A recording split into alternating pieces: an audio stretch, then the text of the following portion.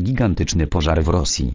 Spłonęło wiele domów Rosja, płonie 20 tysięcy hektarów lasów. Zginęła jedna osoba. W obwodzie czelabińskim trwają pożary lasów, ogień objął 20 tysięcy hektarów. W pożarze zginął jeden z mieszkańców regionu. O śmierci jednego z mieszkańców, który, według mediów, odmówił opuszczenia swojego domu, poinformował w sobotę gubernator Aleksiej Texler. Z zagrożonej strefy ratownicy ewakuowali 179 osób, w tym 128 dzieci. Spłonęły 72 obiekty, domy mieszkalne i altany. 18 osób zwróciło się o pomoc medyczną skarżąc się na pogorszenie samopoczucia i zapalenie oczu spowodowane dymem.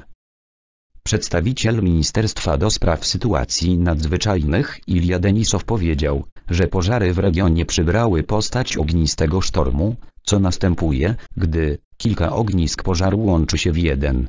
Ministerstwo zapewniło w sobotę, że większość ognisk pożaru udało się ugasić, jednak ogień nadal szaleje w trzech miejscach na obszarach leśnych.